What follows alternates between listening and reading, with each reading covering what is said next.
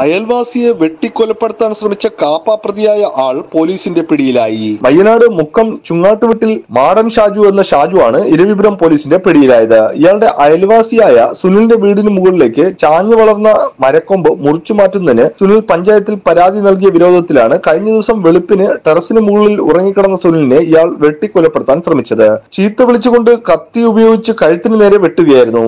ഒഴിഞ്ഞു മാറിയതിനാൽ വെട്ട് കാലിൽ കൊണ്ട് ആഴത്തിൽ മുറിവേറ്റു. സ്ഥിരം കുറ്റവാളിയായ ഷാജു കഴിഞ്ഞ വർഷം കാപ്പ നിയമപ്രകാരം കരുതൽ തടങ്കൽ കഴിഞ്ഞ ശേഷം രണ്ടായിരത്തി ഇരുപത്തി മൂന്ന് മെയ് ഇരുപത്തിയഞ്ചിനാണ് പുറത്തിറങ്ങിയത്. സുനിലിന്റെ പരാതിയുടെ അടിസ്ഥാനത്തിൽ ഇരുവിപുരം പോലീസ് കേസ് രജിസ്റ്റർ ചെയ്ത് ഇയാളെ പിടികൂടുകയായിരുന്നു. ഇരുവിപുരം പോലീസ് ഇൻസ്പെക്ടർ ഷിബു വിയുടെ നേതൃത്വത്തിൽ S I Ajesh Kumar C P ഒമാരെ Aneesh Sumesh എന്നിവരടങ്ങിയ സംഘമാണ് പ്രതിയെ അറസ്റ്റ് ചെയ്തത്. കോടതിയിൽ ഹാജരാക്കിയ പ്രതിയെ റിമാൻഡ് ചെയ്തു. News desk press Malayalam.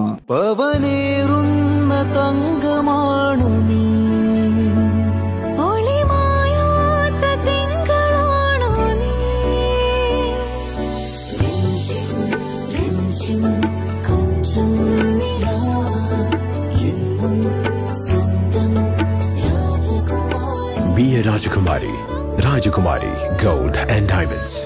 The Trust of Travancore. Rajakumari.